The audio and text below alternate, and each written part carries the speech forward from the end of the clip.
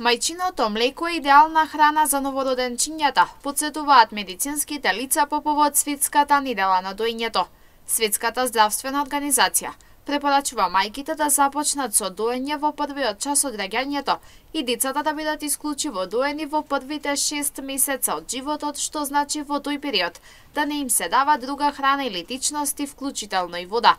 Доктор Валентина Златковска од Штипскиот оддел за неонатологија при клиничката болница. Посочува на повеќето придобивки кои од доењето ги имаат и бебето и мајката. Треба мајките да бидат спремни, значи да бидат припремени, треба да бидат припремени, значи да знаат оти мајчиното млеко е најдобро, уникатно, значи неспоредливо со адаптираните млека има бенефити и за мајката и за децата. За децата тоа е оп, имат оптимален а, раст и развој со мајчиното млеко. Мајчиното млеко значи имунитет, значи заштита, антиинфективни фактори има, антиалергиски фактори има. А, психолошка врска се а, воспоставува мајка и дете, и многу други придобивки мајчиното млеко, а освен тоа и самата мајка, значи се унапредува незиното здравје, понатаму влијае на менталниот статус на мајката, а долгорочно и жени кои доат, значи долгорочно заболуваат помалку од маликни болести на града и на овариуми.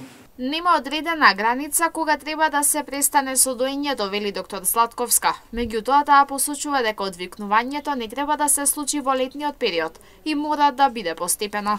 Одвикнувањето од доење е, после шестиот месец постепено, значи со дохрана, со внесување на храни, последователно на 2-3 недели нова храна, значи се почнува тој процес, меѓутоа и гасењето на хормоните е многу постепено. Значи, Светската здравствена организација дури препорачува и многу подолго од колку предходно и две години доење, значи не не ставаме некоја граница, меѓутоа значи сето тоа да биде постепено, да да не биде да не трпат децата од тоа. Значи таа психолошка врска постои и одвикнувањето е постепено.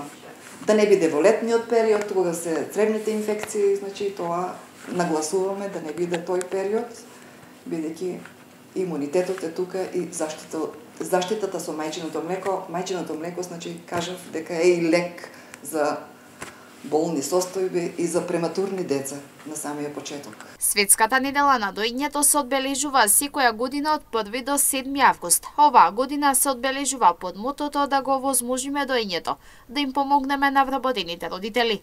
По овој повод Институтот за јавно здравје изготви и објави водич за доење кој е достапен на нивната веб страница.